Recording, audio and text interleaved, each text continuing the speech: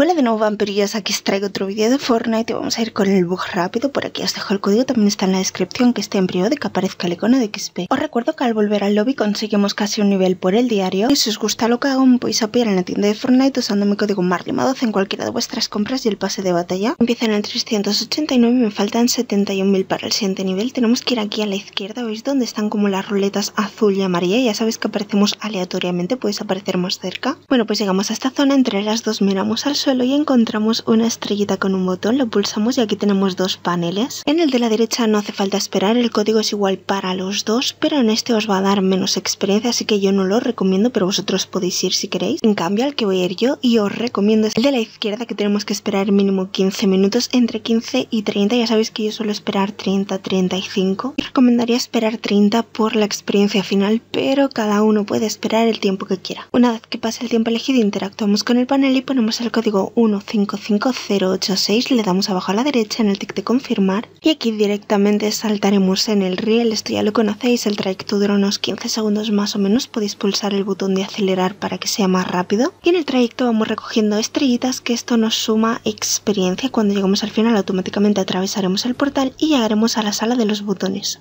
Proceso aquí es igual que siempre, elegimos un botón, el que sea izquierda o derecha, no importa, llegamos al icono de XP y empezamos a pulsar el botón de la E todo el rato, esto hará que vaya subiendo bastante rápido la experiencia, lo seguimos pulsando, botón de la E, botón de la E. Cuando notemos que va más despacio la experiencia, pues cambiamos al botón de al lado y otra vez botón de la E, botón de la E. Aquí igual cuando notemos que la experiencia flojea, que va despacio, pues cambiamos una vez más al botón de al lado y continuamos pulsando el botón de la E. Esto es lo que vamos a hacer con todos los botones de la sala o todo el tiempo que nosotros queramos. Os recomiendo por lo menos estar unos minutitos de prueba para que veáis lo rápido que sube la experiencia y luego ya cada uno puede esperar 5 o 10, ni siquiera esperar cada uno manda de su tiempo, pero ya sabéis que con este bug vamos a poder conseguir los 560.000 que son el máximo diario. Por aquí ya cerca del límite y se acaba de reiniciar con 556.000, que ya sabéis que al inicio también nos dan experiencia, así que hemos llegado a los 560.000 máximo diario, 7 niveles, más casi uno que conseguimos por el diario, en total casi 8 niveles. También podéis repetir el mapa dando la